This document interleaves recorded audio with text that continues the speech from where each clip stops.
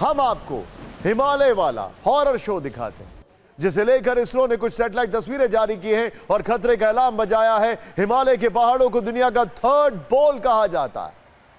और इसकी वजह है, यहाँ बड़ी संख्या में ग्लेशियर की मौजूदगी, लेकिन अब यह इलाका ग्लोबल वार्मिंग की वजह से बहुत ही बुरी तरह प्रभावित हो रहा है, क्योंकि बर्फ़ पिघलती जा रही है और ग्लेशियर सिकुड़ते जा रहे हैं।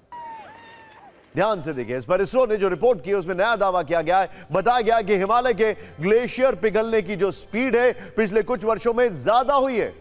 हिमालय में ग्लेशियर से बनी झीलों का आकार भी कई गुना बढ़ गया है और यह बढ़ता ही जा रहा है।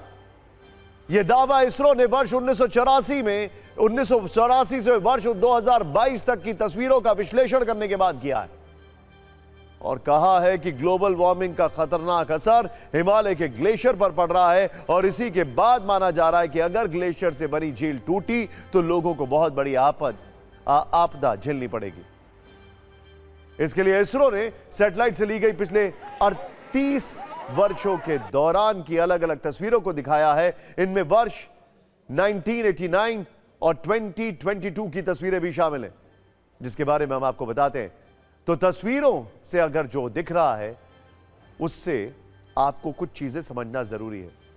तस्वीर इसरो की ओर से रिलीज़ की गई है। वो हिमाचल के घेपांग घाट पर बनी ग्लेशियर लेक की तस्वीर है, जिसका आकार वर्ष 1989 में 36.49 हेक्टेयर था। लेकिन 2022 में ग्लेशियर पिघलने की वजह से इस झील का आकार 101.30 हेक्टेयर हो चुका है।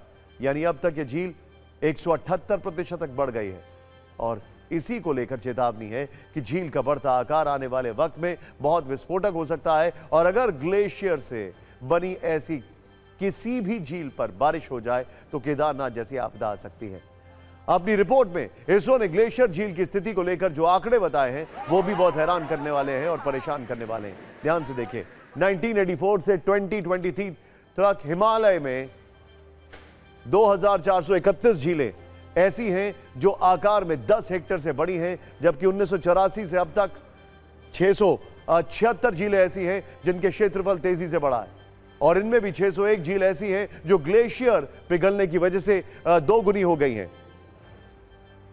और सबसे चिंता की बात, इनमें से 130 झील भारत में ही मौजूद हैं। मतलब अगर यही स्थिति आगे भी रहेगी तो नतीजा कितना खतरनाक हो सकता है, आप इसका अंदाज़ा लगा सकते हैं।